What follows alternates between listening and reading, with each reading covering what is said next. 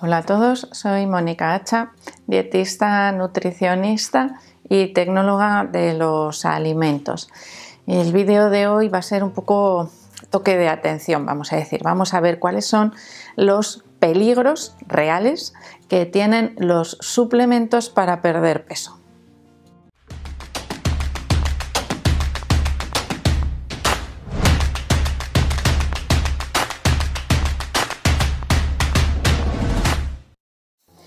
Cuando hablamos de suplementos dietéticos para perder peso, tendríamos que hacer dos grupos diferentes. Por un lado, tendríamos aquellos complementos alimenticios, podríamos decir, que nos sirven como sustitutos de las comidas. Y por otro lado tendríamos eh, suplementos que generalmente suelen ser en forma de cápsulas, pastillas o polvos para añadir en alguna bebida o en las comidas que tienen, eh, vamos a decir, efectos generalmente supresores del apetito. Pero vamos a empezar primero por el grupo fácil para que lo entendáis. Vamos a empezar por aquellos complementos alimenticios que sustituyen comidas.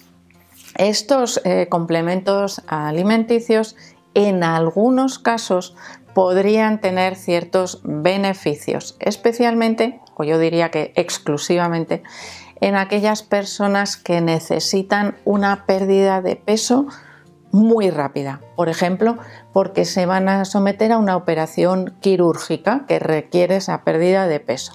¿Y por qué digo que solo en ese caso nos resultan útiles?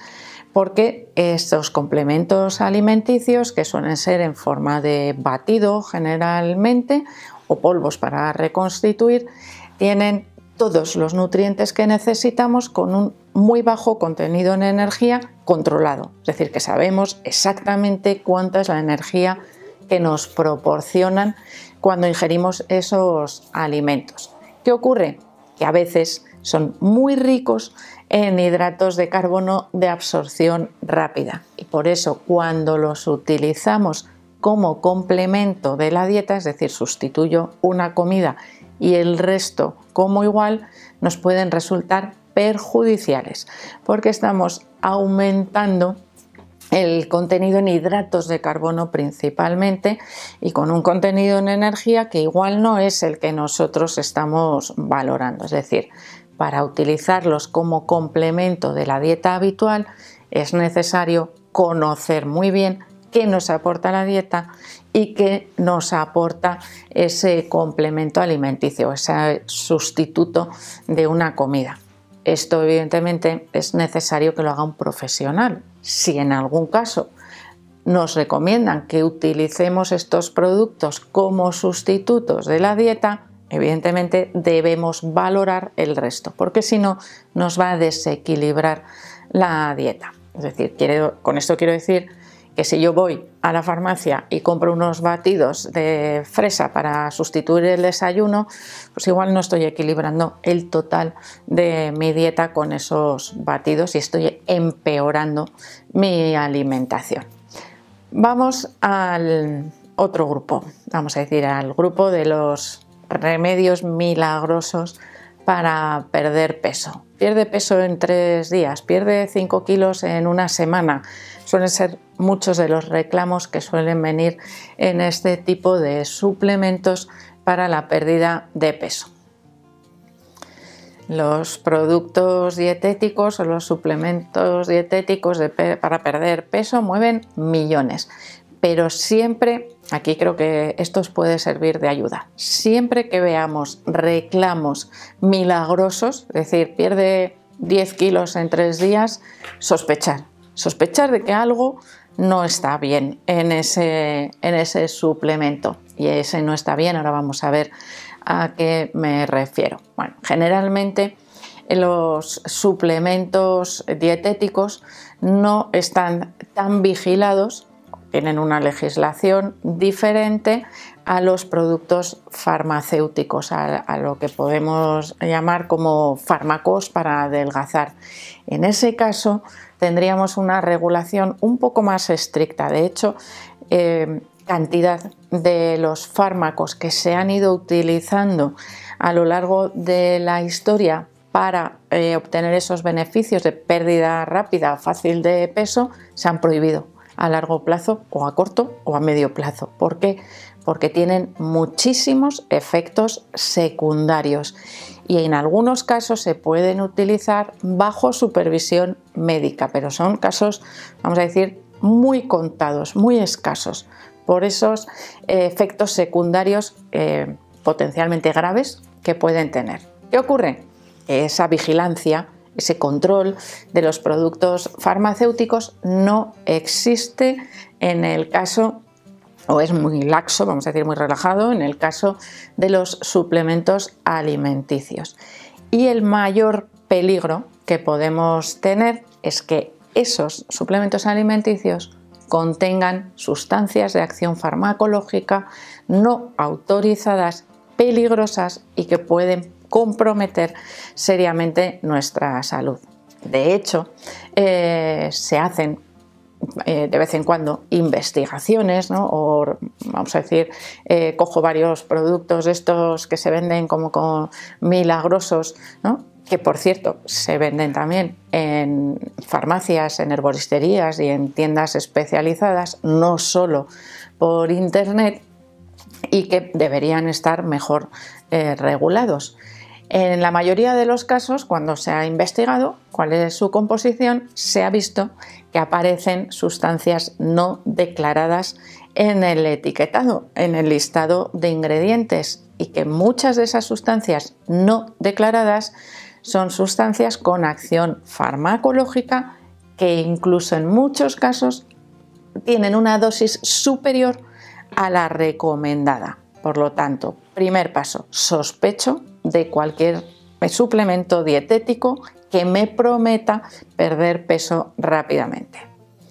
¿Y qué sustancias son esas que se trampean o que aparecen en esos suplementos dietéticos? Pues suelen ser sustancias que tienen función anorexígena, es decir, de supresión, de que me quitan el hambre, no me dejan comer, pero ¿qué ocurre? Que tienen como efecto secundario eh, aparición de taquicardias, alteraciones en el ritmo cardíaco, que pueden resultar peligrosas, alteraciones también en el vaciamiento gástrico, es decir, alteran el funcionamiento de mi cuerpo y además no solo eh, suprimiendo el apetito, sino que tienen otros efectos negativos. En otros casos se utilizan sustancias eh, similares a las anfetaminas, es decir, que mejoran mi estado de ánimo, pero que realmente tienen un efecto muy perjudicial porque producen dependencia. Es decir, cuando yo dejo de tomar esos suplementos, pues es como si me entrase mono, ¿no? Me encuentro fatal y no sé muy bien qué me pasa. En otros casos, estos suplementos dietéticos para una rápida pérdida de peso abusan o incluyen cantidades elevadas de diuréticos en su composición. De hecho, estos diuréticos pueden alterar el balance de mis eh, nutrientes, hacerme perder más nutrientes de lo que debo y alterar, por ejemplo, el sodio, el potasio y producir hiponatremia, es decir, problemas de salud importantes que requieren en la mayoría de los casos atención médica. Por lo tanto, incluir o utilizar suplementos de pérdida de peso rápida no es un juego, es un riesgo. Yo os diría que es casi casi como jugar a la ruleta rusa. Y a todos esos posibles efectos secundarios indeseados de la pérdida rápida de peso utilizando suplementos que tienen sustancias escondidas, vamos a decir, porque no están declaradas, pero que ejercen su efecto cuando los tomamos, evidentemente dejamos de tomar esos productos porque hemos conseguido perder de peso y si hemos tenido suerte y no tenemos efectos secundarios debidos a esa acción farmacológica, lo primero que vamos a hacer es recuperar ese peso con muchísima facilidad porque no nos ha ayudado a cambiar de hábitos, sino que hemos confiado en la suerte, por decirlo de alguna manera, del efecto de esos suplementos. Actualmente, como os digo, no existe ningún suplemento farmacológico, ningún fármaco eh, que haya demostrado seguridad y eficacia en la pérdida de peso. Esto no quiere decir que no se utilicen en momentos eh, controlados o puntuales bajo supervisión médica, porque a veces el beneficio supera el riesgo, pero no es el caso de los suplementos de venta libre de pérdida rápida de peso, en los que el riesgo, os aseguro, que supera con creces el beneficio. ¿Qué tenemos que hacer en estos casos? Bueno, pues eh, hay algún suplemento que podamos utilizar. Yo diría que los mejores suplementos más seguros y que podían, bueno, que sí que se ha visto que pueden tener beneficio para ayudar en la pérdida de peso a unos buenos hábitos serían los suplementos de fibra. Hay diferentes suplementos, entre los que mejores resultados se han observado sería el glucomanano, que sería un suplemento de fibra dietética que aumenta la saciedad porque se hincha, se infla cuando lo ingerimos, por lo tanto, bueno, pues ese tipo de estrategias también yo diría que deberían ser supervisadas por un profesional porque a veces pueden interferir en la absorción de los nutrientes y es algo con lo que tampoco deberíamos jugar en el caso de las personas que necesitan perder peso. Y quería un poco asociado a lo que hemos visto al principio, de esos sustitutos de las comidas que pueden alterar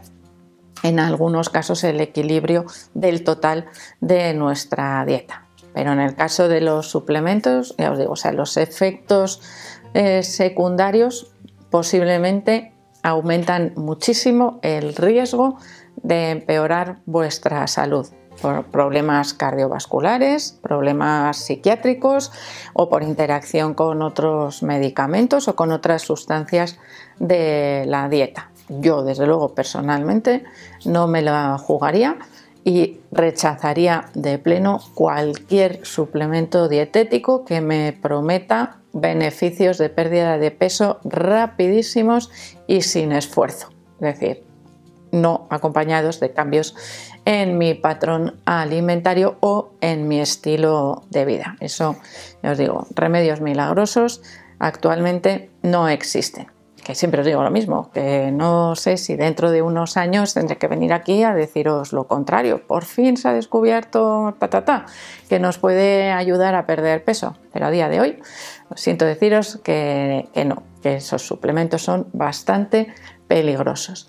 Así que espero que le deis al like del vídeo que si habéis hecho uso de alguno de ellos no repitáis y que si no, que pidáis siempre ayuda a un profesional para ayudaros a valorar ese riesgo-beneficio. Por supuesto, espero que le deis al like, no dejéis de suscribiros al canal y espero seguir viéndose a todos en los próximos vídeos.